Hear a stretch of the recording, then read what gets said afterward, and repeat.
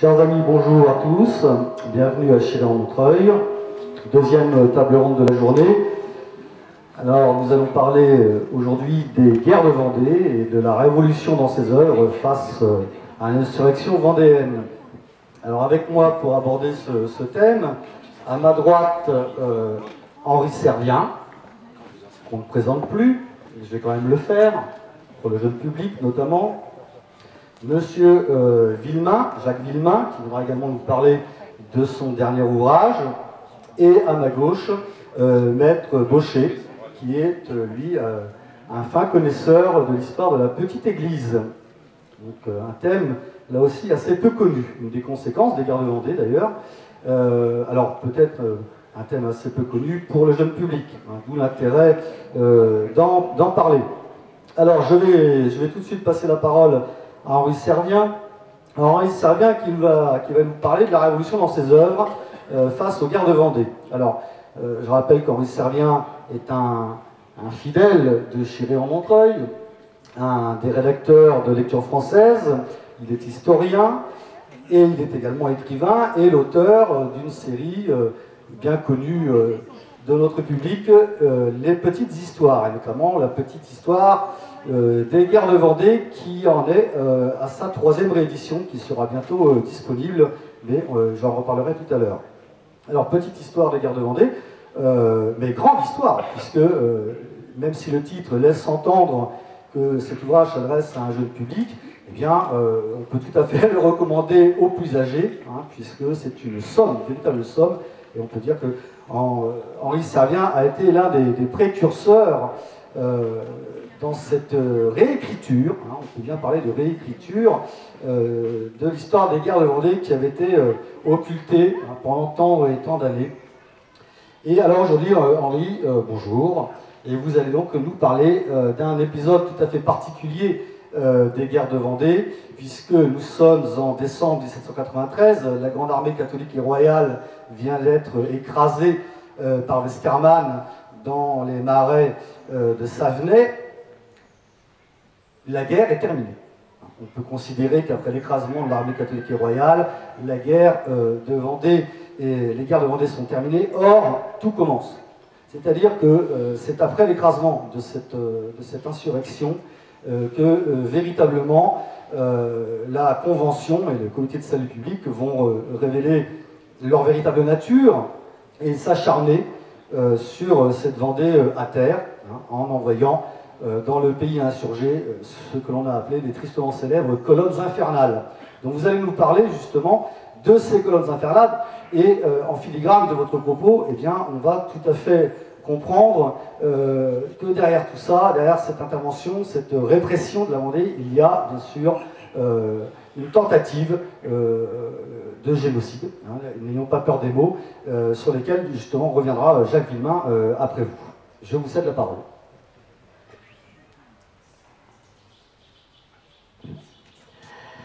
Bien, merci cher ami. Bonjour messieurs, dames. Je, je, commence finalement. Le 21 janvier, la date n'a pas été choisie au hasard. Le 21 janvier 1794, c'est le jour où on, peut dire la République a lâché les colonnes infernales. la date avait été, bien sûr, prévue. Thureau Thureau qui, comme tous les généraux, promettait, mais était absolument euh, abasourdi par ce qu'on lui demandait. Mais il a très peur, comme il y a eu des exemples. Il sait qu'un général qui ne réussit pas vite risque d'être guillotiné assez vite. Donc, Thureau promettait de faire de la Vendée la phrase est importante parce qu'il employait les mots exacts, un cimetière national afin de purger entièrement le sol de la liberté de cette race maudite. Il fut soutenu par Carnot au nom du comité de salut public, donc au nom du gouvernement. C'est bien ce que les, les documents ont montré, même si certains ont voulu prendre quelques nuances. Donc, tous les types de violences, de tortures, de morts, de pratiques. On pense à deux choses pour aller vite. L'affaire des fours, des fours euh, utilisés par le général Hamet aux épaisses, où il a jeté vivantes les, les femmes vendéennes. Et comme ça amusait ces ivrognes de soldats, il a même pris des femmes républicaines du village. Euh, on voit là ce que le gouvernement avait toléré, sinon incité en fait. Donc, tout a été absolument infligé contre les Vendéens et contre les Chouans. Contre les Chouans, peut-être de façon moins importante, parce que la chouannerie a été moins massivement euh, aussi vivace. Mais on le voit notamment, euh, et y compris jusqu'au consulat et à l'Empire, les policiers de Napoléon, enfin de Bonaparte, euh, ont torturé d'une façon ignoble tous les agents ou passeurs ou même les gens qui protégeaient des prêtres ont été torturés. Donc, et puis ces horreurs, toutes ces horreurs qui vont s'abattre sur euh, la Vendée, avec les, fameuses 24 canas, euh, les 24 colonnes, excusez-moi, euh, c'est-à-dire l'équivalent, on a compté d'environ 100 000 hommes qui ont tracé leur sillon, si on peut dire, sur la, Vendée. Ils avaient, ils ont eu, ils avaient des ordres, et ils ont pratiqué le massacre, le pillage, euh, les incendies, les viols, les tortures, etc. Eh bien, tous ces types de violences qui devaient, qui avaient pour but, c'est le principe de la terreur, et les terroristes, d'annihiler les quelques restants des armées, de la grande armée catholique et royale, eh bien, ça va, c'est ce qui va relancer la guerre. Les gens étaient à bout de force. Les Vendéens, une partie, notamment chez les femmes, souhaitaient la paix, le plus tôt possible. Eh bien, pas du tout. C'est à ce moment-là que Charette va recruter le plus.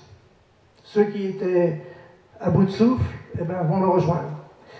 Il faut aussi signaler, ce qui vous montre le niveau quand même euh, d'abomination, que des soldats républicains et que rallièrent les Chouans ou les Vendéens, ou des officiers bleus de valeur, Dumas, le père d'Alexandre, Marceau, Kléber, qui tous les trois là n'étaient pas des tendres, ils l'ont montré euh, partout, au Mans et ailleurs quand il fallait tuer, euh, ils l'ont fait.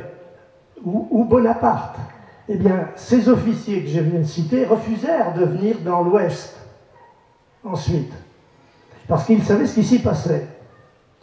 Dans son journal, Stendhal fait le récit que lui a confié un officier bleu dégoûté des horreurs inouïes qu'il avait vues en Vendée. Pas de détails. Les femmes et les enfants furent particulièrement victimes. Mais, puisque je parle des femmes, disons quand même une chose, euh, dont je parle aussi d'ailleurs dans la petite histoire. Certaines femmes de tout milieu montrèrent un courage incroyable pendant cette époque pour cacher, soigner, renseigner, se battre parfois. Un nom, Marie Lourdes, que tout le monde connaît, l'épicière de la Gaubretière, d'origine bretonne, que Charette appelait amicalement ma bretonne. Elle va avoir avec un courage fantastique, pendant toute la guerre, comme elle était épicière, elle avait son fourniment d'épicerie et elle marchait énormément. Elle est allée jusqu'à Nantes, elle est allée, elle s'est mise parmi les, oui, on peut dire, elle est allée espionner le tribunal révolutionnaire, elle a assisté à des procès et surtout, elle a servi d'agent de liaison. Elle transportait les messages dans sa coiffe. Elle n'a jamais été prise. Elle a survécu. Et elle a donné des, détails ensuite très importants. C'est la même chose d'ailleurs euh, en Bretagne, Madame euh, Le Gris Duval, bref, je ne parle pas de ça. Elle favorisait aussi, c'est un autre point qui est particulier aux femmes, deux choses. Elles ont favorisé la préparation de la paix. Pour la Vendée, la, paix de la Jaunais a été due à une diplomatie féminine euh, très présente. Et puis, elles ont surtout ensuite, c'est elles qui ont transmis le récit des combats vendéens. La plupart des mémoires leur sont dues. Il faut aussi parler, puisque c'est évidemment ce à quoi beaucoup pensent pendant cette période et ces activités, parler de ce que les Vendéens appelaient les grands massacres. Les grands massacres, citons Noirmoutier, le parc Soubise, Chavagne, les Lucs, 564 tués, dont les 110 enfants de moins de 7 ans. Ceci dit, euh, une petite parenthèse obligatoire. Euh, on attend toujours la canonisation de l'abbé Voineau et des enfants. Seul, la seule possibilité de faire redémarrer les choses, puisque le dossier avait été, euh, disons, fait par l'abbé Proutot en 1949, donc le seul moyen pour que ça redémarre, c'est qu'il faut que l'évêque, l'évêque seulement, désigne un nouveau postulateur. C'est ce que demande également euh, le père Arlouache, qui se, qui multiplie, disons, les, activités sur ce sujet. Il, est allé voir ceux qu'il pensait pouvoir l'aider, mais ça ne semble pas suffisant. Donc, on attribue aux colonnes infernales environ 40 000 morts.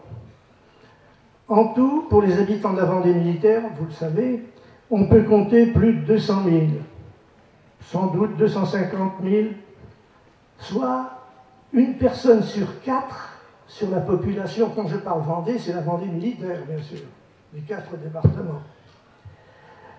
Oui.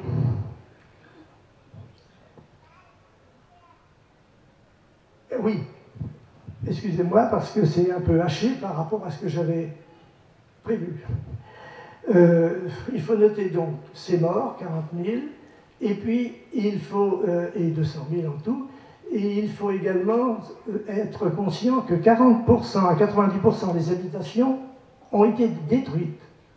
Ça, on le sait très bien parce que par la suite, quand Bonaparte, non, Napoléon, Napoléon a voulu gagner les Vendéens, une partie des Vendéens, eh bien, il a fait faire une loi où, justement, il y avait des indemnités de reconstruction. De toute façon, il y a quand même une chose à rappeler, je pense importante, que durant la période révolutionnaire en France, 31% des victimes furent des artisans, des compagnons 28%, des paysans, des, domestiques, des prêtres, des nobles, mais ce qui est important, ce chiffre à retenir, de tous les massacres et tous les, assassinats de la, Révolution, 80% des, victimes étaient membres étaient du tiers-État. Il y a eu des nobles, bien sûr, mais le, gros de la, des massacres touche le tiers-État. On, est loin des déclarations euh, sirupeuses, de la Déclaration des droits de l'homme d'août 1789, euh, toutes les libertés de conscience, euh, de liberté de propriété, etc. etc.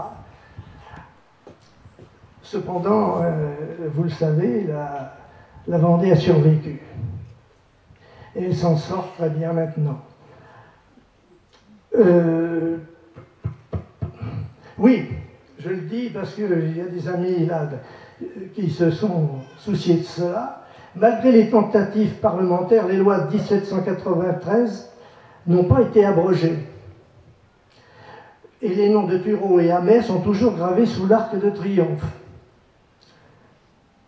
Ça, c'est évidemment une tristesse du manquement du gouvernement français. Puis il y a un autre manquement par omission ou ignorance, je vous le donne pour terminer, c'est la position officielle de nos dirigeants qui, continue de, sortir les clichés. La meilleure, la voilà. À l'occasion de l'hommage rendu au père Hamel, le président Macron a lancé une appréciation téméraire. La République, oui, repose sur l'amour et le respect de l'humanité. Il n'a pas dû bien connaître le, le résumé des guerres de Vendée. Je vous remercie. Merci à vous. Alors, justement, ce que, vient de nous dire Henri Servien, effectivement, relève du travail de l'historien. Nous ne pouvons que constater les faits hein, euh, et éventuellement les interpréter. Mais pour ce qui est euh, de la définition euh, juridique de ces crimes qui ont été commis en Vendée, il faut peut-être euh, aller faire un, petit tour du côté du droit.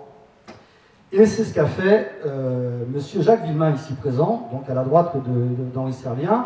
Jacques Villemain, vous êtes diplômé de l'Institut d'études politiques de Paris, euh, de l'ENA, vous êtes juriste, vous êtes un spécialiste des questions juridiques internationales, du droit pénal international, vous avez beaucoup travaillé en lien avec la Cour pénale internationale de la Haye. Et vous venez d'écrire un livre absolument euh, remarquable. Euh, je pense que ce livre est appelé à faire date, puisque dans son genre, euh, c'est le premier. il est intitulé Vendée 1793-1794, crime de guerre, point d'interrogation, crime contre l'humanité, génocide, une étude juridique. Et quel est l'objet du livre? L'objet du livre, c'est de savoir ce qui s'est passé en Vendée, oui ou non, s'inscrit-il dans la définition juridique du génocide ou du crime contre l'humanité. Après, c'est tout. Alors, on ne va pas se poser la question ici de l'anachronisme, hein, ça, on va laisser ça aux historiens. On ne va pas non plus se poser euh, la question de la non-réactivité des lois, ça c'est pour les juristes. Hein. Vous, euh, vous, répondez d'ailleurs, Jacques Guimain, euh, par avance à ces objections dans votre premier chapitre. et en fait, ce qui, vous a intéressé, vous, c'est au regard des lois internationales et au regard de la définition internationale posée par la, Cour pénale, est-ce que, finalement, ce qui s'est passé euh, en Vendée relève ou pas du crime de guerre, du crime contre l'humanité et du crime de génocide. Alors, pour nos éditeurs, notamment les plus jeunes, qui ne sont peut-être pas très familiarisés avec ces notions juridiques, ces notions de droit, est-ce que vous pouvez nous définir succinctement ce, que, ce que dit le droit pénal, ce qu'est un crime contre l'humanité, ce qu'est un crime de guerre ce qu'est un crime de génocide et ces définitions données euh, à l'aide d'exemples que, vous avez, euh, que de votre ouvrage, peut-on les appliquer à ce qui s'est passé en Vendée? Bonjour mesdames et messieurs, merci beaucoup pour ces aimables mots. je ne pouvais pas avoir de meilleure introduction à mon sujet que ce que vient de dire monsieur, Servien. Donc ça c'est le côté historien. Moi je suis juriste et effectivement euh, je je me suis occupé pendant plusieurs années des questions de droit pénal international euh, pour les tribunaux pénaux internationaux de la Haye, celui pour la Yougoslavie, celui pour le Rwanda, la Cour, la cour spéciale de Sierra Leone et bien sûr la Cour pénale internationale. Effectivement, crime de guerre, crime contre l'humanité et génocide, il faut bien comprendre que ce sont des notions juridiques. Ça a une définition qui est fixée par la loi, en l'occurrence la loi internationale. Par exemple, le génocide est défini par une convention des Nations Unies de 1948. Alors, je ne conteste absolument pas aux, historiens le droit d'utiliser ces notions, mais il faudrait qu'ils les utilisent euh, selon la définition que le droit en donne. Euh, parce que les nombres d'historiens ont tendance à, réagir de manière uniquement comparatiste. comme vous savez, comparaison n'est pas raison. Et puis la comparaison, elle donne le résultat du choix du terme de comparaison que l'on prend. Alors beaucoup d'historiens, par exemple, vous comparent la guerre de Vendée avec euh, l'extermination des Juifs et vous disent ça n'a rien à voir. Ben, bien sûr, ça n'a rien à voir. Ça n'a rien à voir, à part qu'il s'agit quand même de massacrer des gens pour ce qu'ils sont. Ensuite, ça n'a rien à voir parce que ce n'est pas les mêmes techniques, il n'y a pas de chambre à gaz, il n'y a pas de camp de concentration, il n'y a pas de train, il n'y a pas de... Évidemment, ce n'est pas la même époque. Mais on peut commettre un génocide avec des chambres à gaz, on peut le commettre aussi avec des machettes, comme au Rwanda. Pour la Révolution française, on se trouve un peu entre les deux. On a des canons, des baïonnettes, des fusils, des noyades, des, fours, enfin, on a toute une, panoplie. Ce qui compte, c'est l'intention criminelle. Alors, je ne voudrais pas que le fait que je parle de droit euh, vous décourage de lire mon livre, d'abord parce que je suis là pour le présenter. Euh, les notions sont assez simples. Hein. Euh, crime de guerre, je ne vais pas rentrer dans les détails, je ramène ça à deux principes tout simples qui remontent d'ailleurs au Moyen Âge. On distingue entre les, combattants et les non-combattants, c'est le code de la chevalerie. On ne doit pas attaquer les non-combattants. Donc la veuve, l'orphelin, le non-combattant doit être épargné y compris d'ailleurs l'ennemi des armées qui se rend, qui était un combattant et qui passe du côté des non-combattants. Euh, s'il est blessé, s'il se rend, il cesse d'être combattant. Et donc on peut, euh, c'est tout à fait admis au Moyen Âge, le, faire prisonnier, le rançonner, hein, mais on ne peut pas le tuer. L'autre principe, c'est qu'on doit s'affronter en loyal combat, c'est-à-dire qu'on ne doit pas utiliser d'armes déloyales comme le poison, ce genre de choses. À cet égard, les armées républicaines ont violé tous et chacun euh, euh, des, principes du droit de la guerre. Ils ont systématiquement massacré les prisonniers, les blessés dans les hôpitaux. Ils ont fait des essais de gaz asphyxiant. la chimie n'était pas assez développée pour euh, que ça marche, donc ils ne l'ont pas fait. Ils ont envisagé l'usage du poison, mais ils se sont dit, bon, si on empoisonne les puits, c'est pas dit que nos soldats iront pas puiser dedans après, donc ils ont, ils ont renoncé uniquement parce que ça ne pouvait pas marcher. Mais ils ont tout essayé, et euh, toutes les intentions criminelles y sont. Le crime contre l'humanité, la définition est simple, attaque généralisée ou systématique contre une population civile. Généralisée ou systématique, hein, c'est pas et. Et là aussi, euh, c'est assez net que euh, la population vendéenne a été attaquée de manière générale et systématique.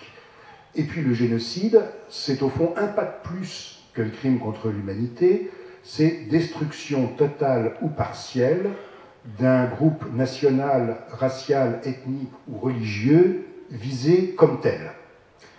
Euh, alors, je fais dans mon livre toute une discussion pour savoir dans quelle mesure on peut considérer les Vendéens comme un groupe national, racial, ethnique ou religieux. Ces termes ont été interprétés notamment dans le cas des Tutsis du Rwanda et euh, du, groupe bosniaque en, en Yougoslavie. Et j'arrive à la conclusion que les critères appliqués euh, les, Vendéens s'encadrent absolument dans, cette définition. Donc voilà, vous avez trois définitions, euh, je détaille ça dans toute la première partie de, mon livre, j'essaie de faire de la pédagogie, je suis aussi prof de droit, enfin, je fais des conférences de droit à Sciences Po, donc j'ai essayé d'être pédagogique, mais effectivement, il faut prendre la définition juridique, voir l'interprétation par les tribunaux pénaux internationaux de cette définition, et appliquer les critères aux faits historiques. Donc je m'en remets totalement aux historiens pour les, pour les faits, mais euh, en revanche ensuite euh, je réclame en tant que juriste euh, une compétence particulière pour leur application. Ce que beaucoup d'historiens ne font pas, alors certains par ignorance, d'autres, je le crains un petit peu par parti pris, parce que c'est quand même extraordinaire de dire ce n'est pas un génocide, sans se référer à la définition du génocide, en se référant uniquement à c'est pas la Shoah, donc c'est pas un génocide. Ceci n'est pas un syllogisme. Hein, la, guerre de Vendée n'est pas la Shoah, or la Shoah est un génocide, donc la guerre de Vendée n'est pas un génocide. C'est pas, pas un raisonnement, ça.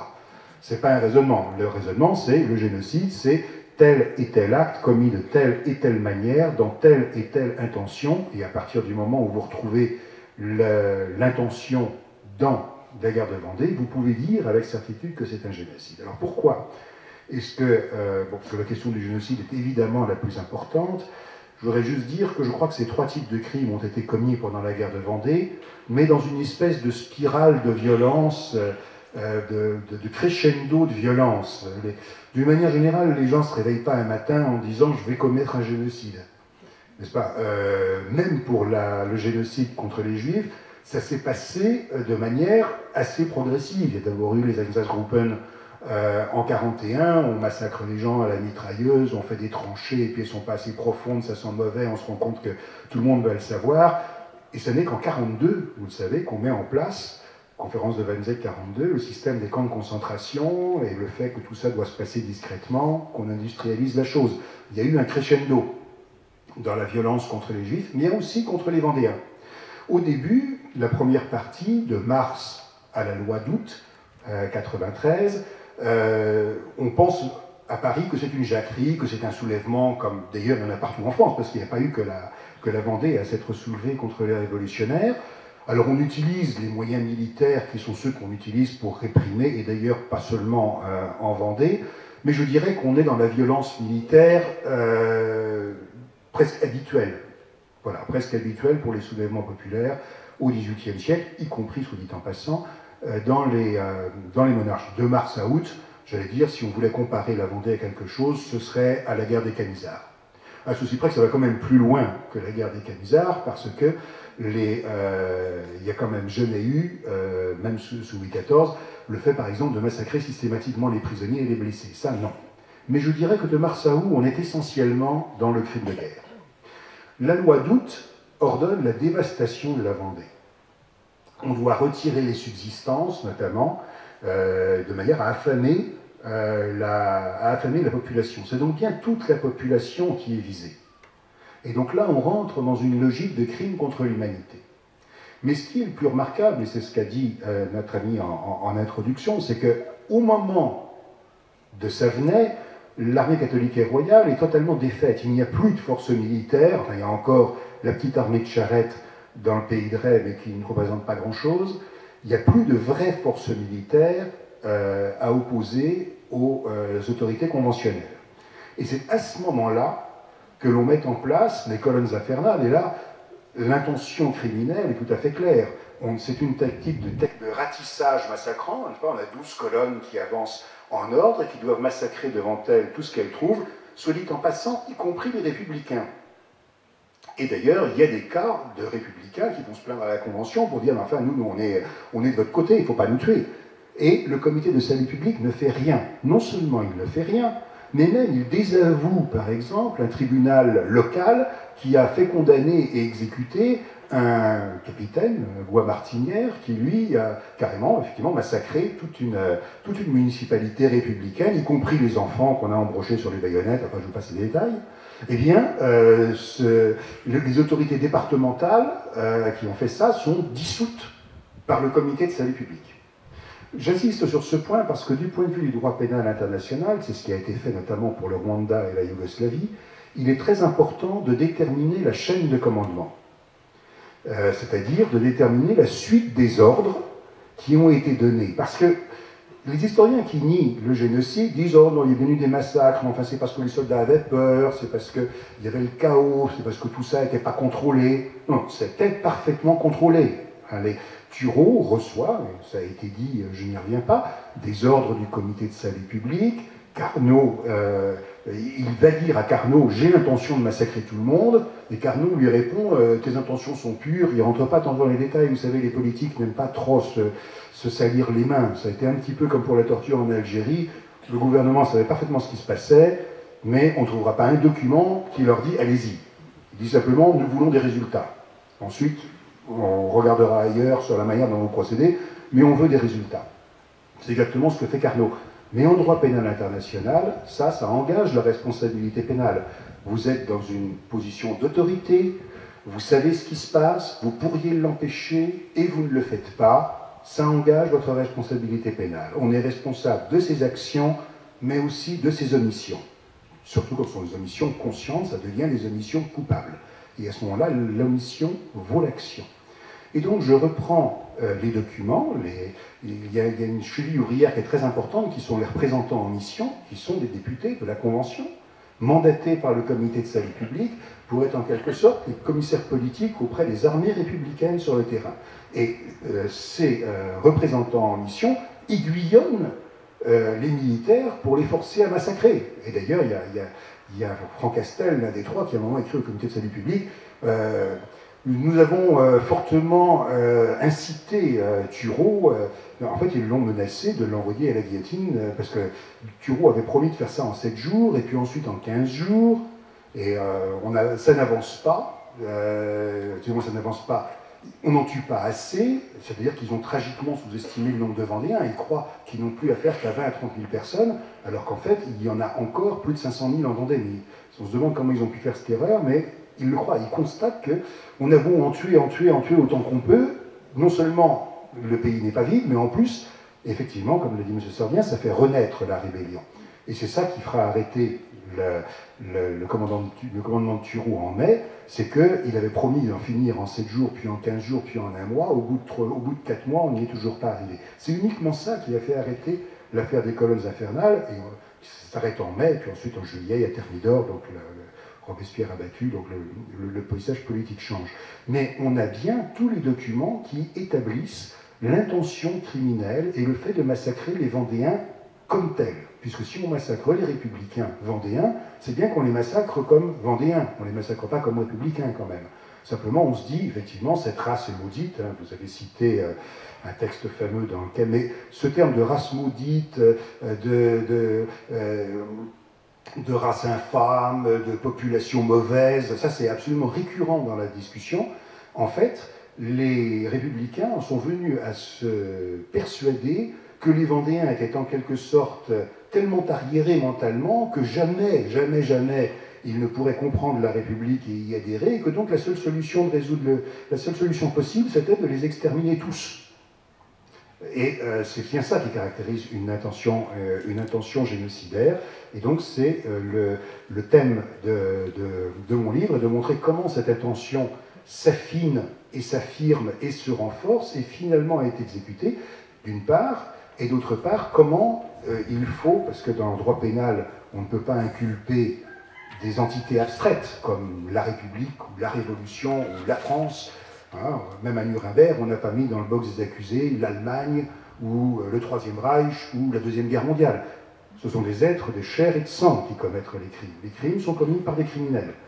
Donc il faut dire qui on accuse. Et donc, mon thèse consiste à dire Carnot, Robespierre, Franck Castel, Hens, Thureau, les personnes et dire quel est le dossier, c'est-à-dire telle lettre, tel, tel ordre militaire, telle loi, tel acte, et qui doit être imputé à telle et telle personne ou collectif de personnes, ce qu'on appelle une entreprise criminelle commune en droit pénal international. Quel est le périmètre Tous ceux qui sont dedans sont coupables. Merci. Alors je précise que Monsieur Jacques Guillemin dédicacera son ouvrage euh, à la sortie euh, de, l'espace de conférence. J'en profite également pour signaler au passage que euh, la petite histoire des guerres de Vendée d'Henri Servien est actuellement en cours de réimpression hein, pour une nouvelle édition, la troisième je crois. Et vous avez la possibilité également à la sortie de, souscrire hein, à un tarif préférentiel euh, seront à votre disposition sur la table de presse des, formulaires d'inscription euh, pour, euh, pour, une souscription donc, à cette nouvelle, cette, nouvelle, cette nouvelle édition. Alors je vais maintenant, pour terminer, passer la parole à Maître André Vaucher. Alors Maître, bonjour. Vous êtes notaire, vous, êtes, vous avez été longtemps maire de Tilly-sur-Seul, en Normandie. Vous êtes également l'ancien président de la Société des Amis de la Varande. Et vous vous intéressez beaucoup euh, à ce qu'on a appelé euh, l'histoire de la petite église. Alors pour notre jeune public qui n'aurait jamais entendu parler de ça, et c'est un fait que le sujet est fort peu connu, euh, la naissance de la petite église est une des conséquences des guerres de Vendée et notamment du Concordat. Alors vous allez peut-être nous en dire un peu plus. Quelle est l'origine de cette petite église?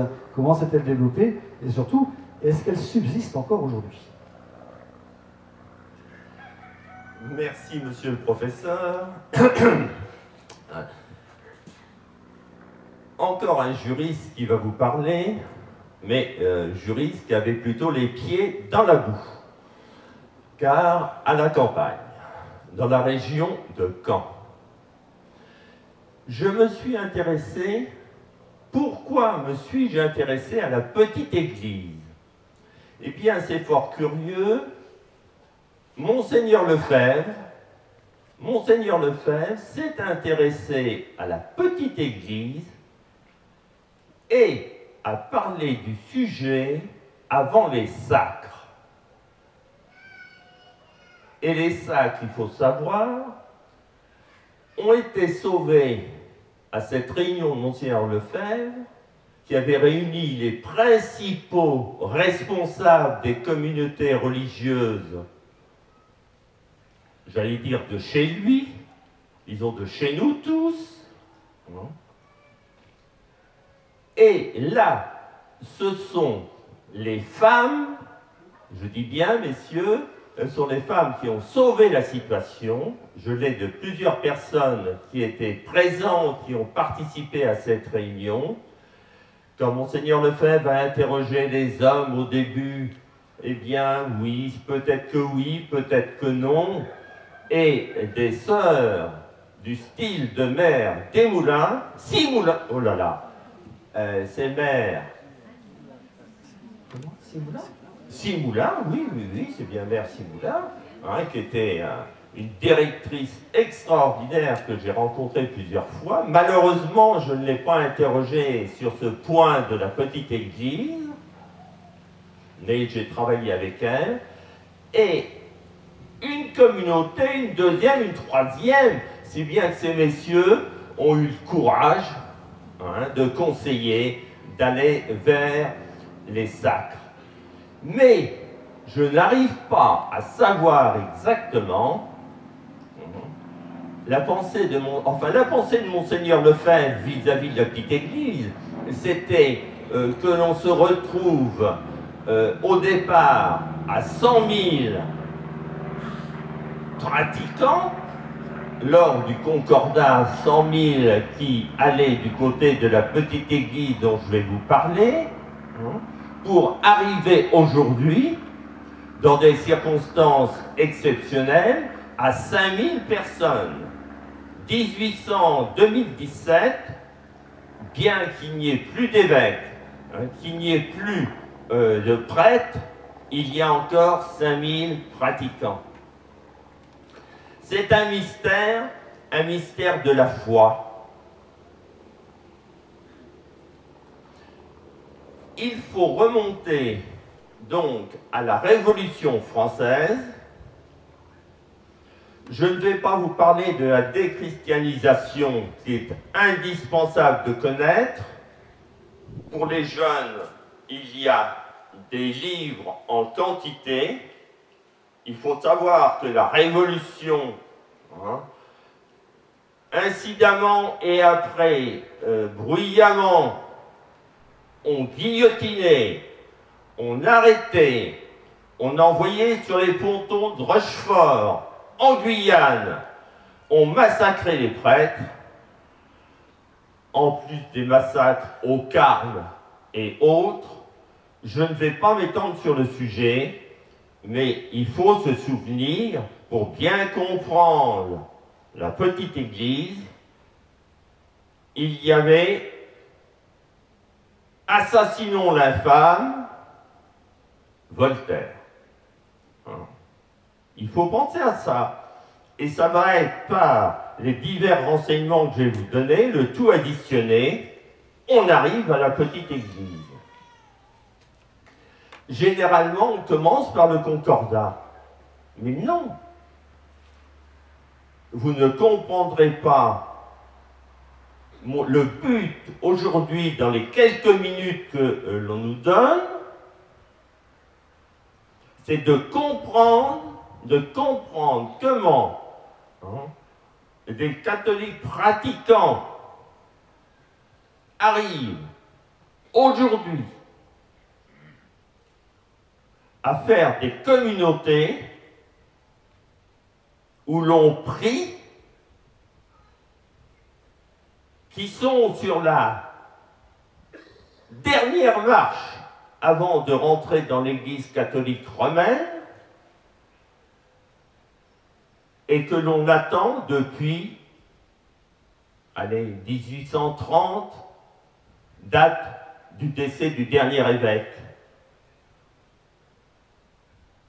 et 1850, date, c'est autour de 1850 qu'il n'y a plus eu de prêtres.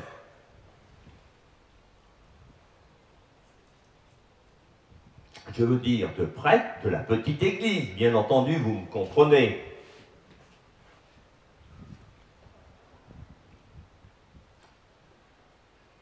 Les états généraux, 4 mai, 5 mai, 1789, se transforment très vite, les États généraux, c'était réalisé pour des questions financières, c'est tout. Même pas juridique, pas constitutionnel, c'était la dette hein, du royaume qui était à solutionner.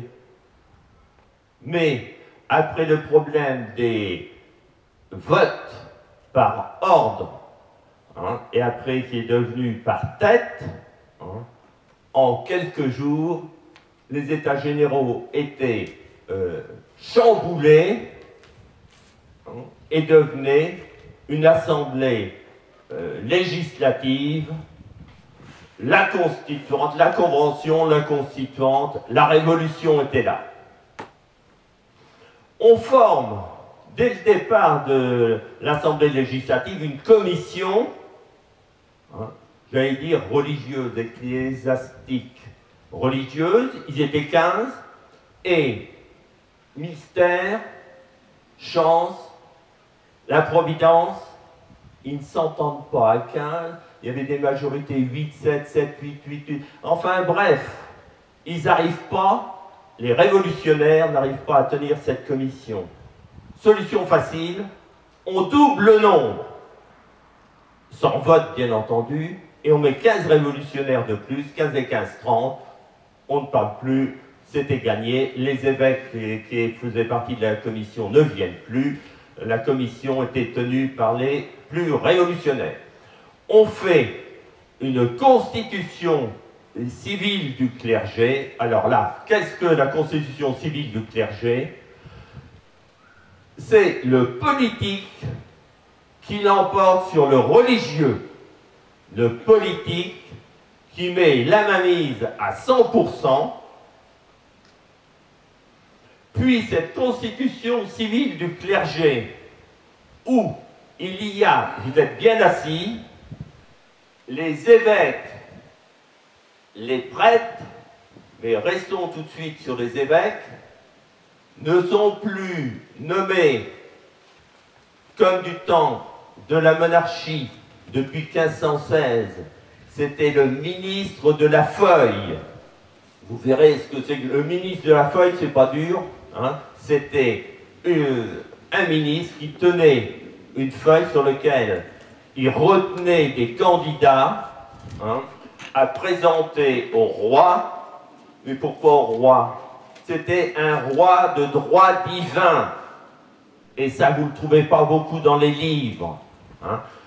C'était depuis 1516 hein, le roi qui proposait les candidats à Rome. Et c'était Rome, institution canonique, qui nommait l'évêque. Là, ces messieurs révolutionnaires, eh bien, on va élire les évêques. Alors, pas euh, diocèse. Mais élire, qui va élire? Mais tout le monde, tous ceux qui euh, euh, paieront un impôt équivalent à trois jours de travail. Que l'on soit catholique, que l'on soit protestant, que l'on soit athée, que l'on soit musulman, que l'on ne croit à rien, que l'on ait tué père et mère ou rien du tout, hein, tout le monde, entrant dans la catégorie de paiement des impôts, pouvait voter. L'évêque élu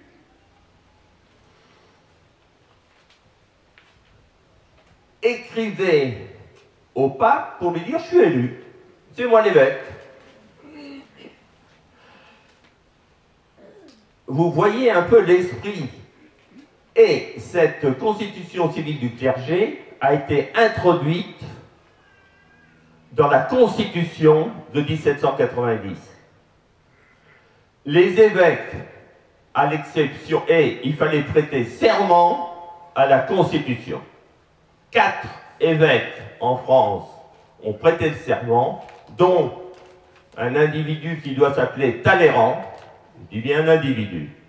Un Talleyrand a prêté le serment à la Constitution civile hein, par l'intermédiaire de la prestation dans la Constitution. Nous allons arriver à 1789 où Bonaparte n'a pas encore pris le pouvoir, hein, mais à la bataille de Marengo, qui gagne en Italie, hein, rencontre l'évêque du lieu, et il y avait dans l'air hein, cette, euh, ce nouveau concordat qu'il fallait trouver. Le concordat de 1516 de Bologne hein, avait été aboli, bien entendu, par les révolutionnaires. Il est repris par Bonaparte des négociations avec Rome. Tant qu'il y avait eu Piscis, qui était très ferme sur la question, il n'y avait pas eu de dérapage. Il avait reçu un projet de concordat hein, par les révolutionnaires où on mariait les prêtres, hein, toujours des élections pour les évêques et autres, hein, et refus, il n'a même pas eu de réponse de Piscis. Pissette saute sur l'occasion de ces négociations. C'est énorme, ça a duré un an. Vous trouvez six volumes complets hein, sur les négociations par Boulet de la Meurthe. Hein, donc, je n'en parle pas du tout. Mais Napoléon imposait impérativement toujours son point de vue. Négociation hein, entre Rome et Paris. Il y a eu le cardinal Consalvi qui cherchait à sauver la situation. Rome était représenté entre autres par, euh, je dis, Bonaparte, qui était devenu, non, il n'était pas encore euh, Napoléon. Euh, Bonaparte avait chargé Bernier, l'abbé Bernier que nous retrouvons dans l'histoire de la Vendée, mais pour lequel je n'ai pas un immense respect, car il a trafiqué hein, le dernier document hein, du Concordat. Ayant un remords quelques heures avant la signature, il aurait, il aurait prévenu le cardinal Consalvi, qui a refusé de signer, étant prévenu par Bernier, il ne signe pas. Hein. Néanmoins, on revient au projet d'Adam, et dans ce projet, Napoléon a imposé au pape la démission de tous les évêques. Cette démission a été refusée sur les 82 évêques vivants, évêques de la royauté d'avant 89, a été refusée par 37 évêques, qui étaient bien entendu exilés depuis 1790 il y a eu une dizaine d'évêques qui sont restés en France entre 6 et 10, qui, sont restés en France pendant la Révolution.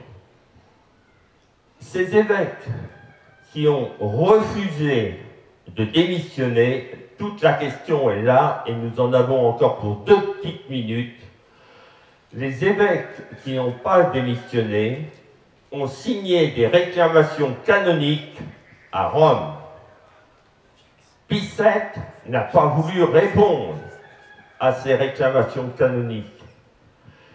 Il a obligé, il a démissionné tous les évêques alors qu'il n'en avait pas le pouvoir. Un évêque a un siège inamovible. À l'époque, c'était sur la tradition que l'on se basait. Aujourd'hui, ça a été accepté dans Vatican II. L'évêque est inamovible. Alors qu'il y a eu des évêques qui, les 37 qui ont refusé, qui étaient à l'extérieur de la France, en refusant, ont créé, ont, aidé à créer la petite église. Ce sont donc alors qu'en plus, il y avait les évêques constitutionnels qui, eux, une partie ont démissionné, d'autres n'ont pas démissionné. Bernier a trafiqué les renonciations, enfin c'est pas joli du tout. Et vous pouvez vous poser la question, que font aujourd'hui hein, les membres de la petite église Eh bien, ils pratiquent leur religion comme en 1789. Il y a eu la période où ils ont eu les évêques jusqu'en 1829, dont le dernier évêque était Monseigneur de Téline et euh, Monseigneur de Coucy, évêque de La Rochelle, lui a euh, donné sa démission entre 1816. Monseigneur de Téline est décédé en 29 en disant Vivez comme vous avez vécu pendant la Révolution. Merci maître. Merci beaucoup. Alors je signale, je signale à l'attention du public euh, que maître Gaucher tient un stand sous, euh, sous les tentes où sont en vente donc des ouvrages à, très, à un prix très compétitif, 4,95 euros. Donc la petite église en 30 questions pour ceux qui veulent en savoir plus. Merci à vous. Donc je vous invite euh, à rejoindre les sièges pour le repas et pour ceux qui le souhaitent, donc se rendre à la dédicace des ouvrages euh, de M. Jacques Villemain. Merci encore.